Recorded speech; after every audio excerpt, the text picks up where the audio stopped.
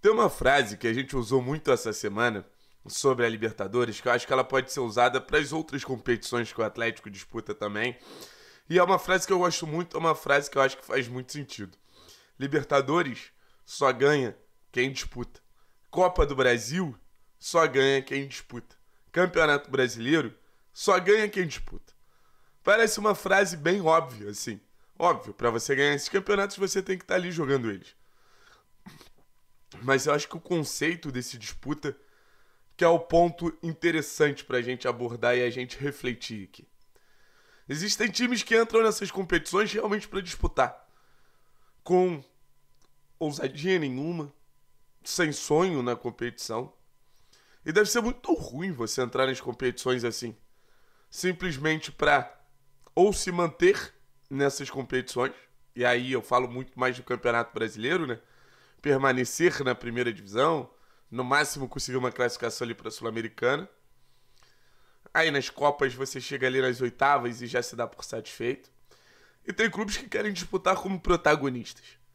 E eu acho que o Atlético ele tem uma busca muito interessante por esse protagonismo. Não adianta pro Atlético terminar em nono no Campeonato Brasileiro. Principalmente esse Atlético de 2022, onde foi feito um investimento grande para que o disputar do Atlético ele fosse outro. Para que o disputar do Atlético fosse um disputar entre os melhores sempre. E no Campeonato Paranaense, na, talvez até na Recopa, acho que dá para incluir, eu acho que a gente não conseguiu esse objetivo de disputar entre os melhores. Era pra gente oferecer mais resistência contra o Palmeiras na Recopa. Era pra gente ter sido campeão paranaense. Mas tudo bem. Os erros, se nos colocarem num caminho de perspectivas vitoriosas, está tudo certo. Eu acho que esses erros devolveram ao Atlético a capacidade de olhar para as competições e querer sempre estar disputando. Mas não é disputando as competições, é disputando os títulos, quem sabe. Hoje não dá para dizer que o Atlético ele tá fora de nenhuma briga pelo título. Óbvio que o Campeonato Brasileiro é muito difícil e você já tá numa distância considerável do Palmeiras. Mas impossível zero. Impossível é a briga de América Mineiro, de Cuiabá, de outros times aí, de Juventude, de Fortaleza. Mas o Atlético tá lá, pô. Vai que o Atlético ganha 5, 6 jogos seguidos. Palmeiras tem uma sequência difícil agora.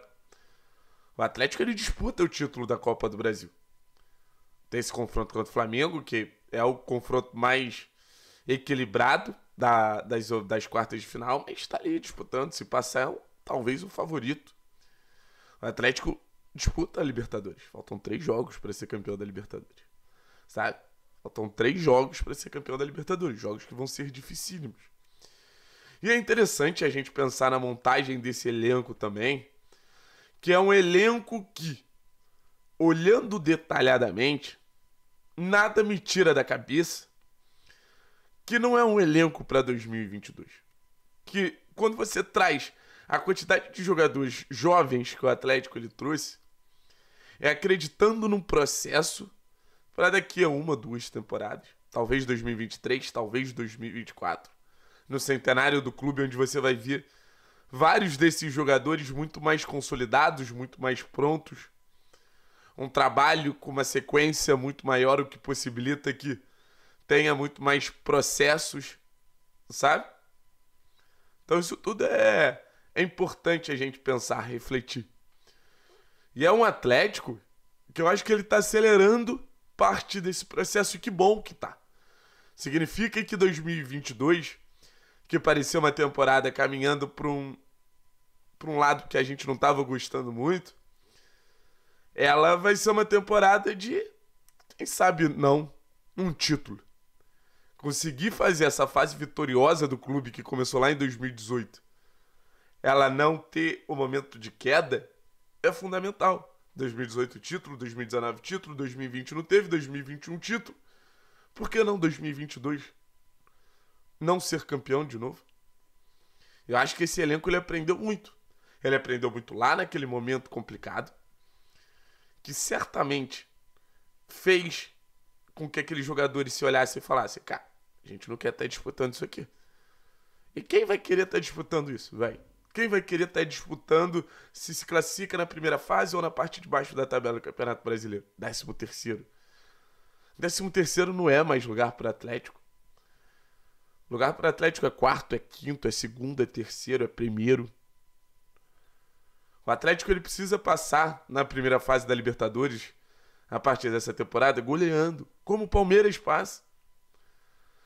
Porque a gente está muito mais perto do Palmeiras do que a gente está perto de Melgar, do que a gente está perto de Libertar.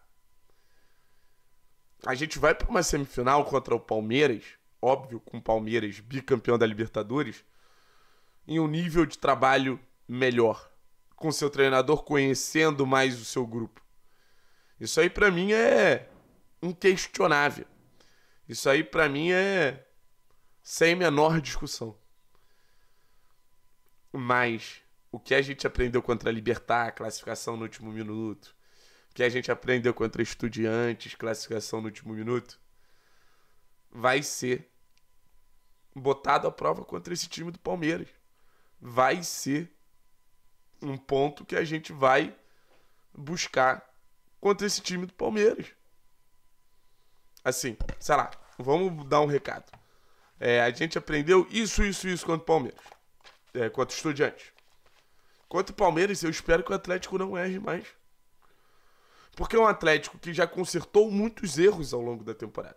É um Atlético que, em várias situações, viu um cenário ali de puta, e mesmo assim conseguiu resolver. Porque a temporada ela te entrega isso se você for um time é, que tenha um mínimo de maturidade ali. A temporada ela te entrega um recado que é você pode sempre estar evoluindo. E o Atlético ele está em constante evolução, por isso que eu falo. Imagina na temporada que vem. E esses jogos eles são fundamentais para essa melhoria. Você não sei se vai crescer contra o Atlético Goianiense pelo Campeonato Brasileiro, com todo respeito ao Atlético Goianiense, que faz uma campanha incrível. Mas certamente você vai crescer contra o Estudiantes pela Libertadores. Eu não sei se você vai crescer contra o time reserva do São Paulo pelo Campeonato Brasileiro ou contra o Azures no Campeonato Paranaense. Mas certamente você vai crescer numa semifinal de Libertadores contra o Palmeiras. Você pega gosto por aquilo ali. Você vai querer estar sempre jogando aquilo ali. Você vai querer estar sempre no topo. Você bota um sabor na boca dos jogadores, que o jogador de futebol muita gente acha que é uma profissão privilegiada, mas é um jogador de futebol que teve que passar por muita coisa para chegar até ali. Então é o jogo que esses caras eles querem jogar. É o jogo que esses caras eles estão doidos para para estar tá atuando, tão doidos para estar tá em campo. E tá certo, mano. Esses caras ele tem que ficar amarradão de jogar futebol, é, tá jogando futebol mesmo. Como é que não? Como é que não? E é, obviamente, melhor você jogar um jogo desse do que um jogo qualquer de campeonato brasileiro. E com todo, com todo respeito do mundo aos jogos de campeonato brasileiro também, não tô aqui pra menosprezar nada. Só tô falando que esses jogos são de. são de um nível maior, são de um gosto melhor. Você joga com mais tesão, você joga com mais concentração. E refletindo aqui, acho que o Vitor Roque ele é um grande expoente da temporada do Atlético, né? O Vitor Roque é um moleque que a gente olha e a gente fala, cara, é um dos caras que escreve uma das histórias mais legais, assim. E. Imagina o Vitor Roque daqui a duas temporadas. Imagina um Canóbio mais maduro, imagina um Coelho mais maduro, imagina um Gumoura mais maduro. Imagina um trabalho do Filipão, seja como head coach mais maduro, um trabalho do Turra mais maduro, um trabalho do Wesley mais maduro. Desde que eu comecei a trabalhar com o Atlético, minha vida mudou eu agradeço muito a vocês. Eu vou falar uma parada para vocês. E em nenhum momento eu deixei de ver perspectiva de futuro. Em nenhum momento eu olhei para frente e falei, fudeu. Mas acho que a perspectiva que o Atlético tem nesse momento é a melhor possível. E uma das melhores do Brasil. Talvez junto ali com o Palmeiras, junto com o Flamengo. Melhor que de Corinthians, melhor que de Atlético Mineiro, a perspectiva. Porque esse elenco ele tem muito a crescer ainda. Esse elenco tem muitos frutos a dar ainda. Ele precisa ser bem tratado, precisa ser tratado com carinho, precisa ser valorizado. E eu tenho certeza que quando a gente entrar em campo, tanto na Baixada quanto no Allianz Parque, para jogar a semifinal de Libertadores que vem pela frente, a gente vai vai fazer com que esse grupo ele queira jogar a semifinal de 2023, 2024, 2025. O Atlético ele busca jogadores de uma mentalidade muito forte. A formação de elenco do Atlético não são de jogadores qualquer, são jogadores é, muito ambiciosos.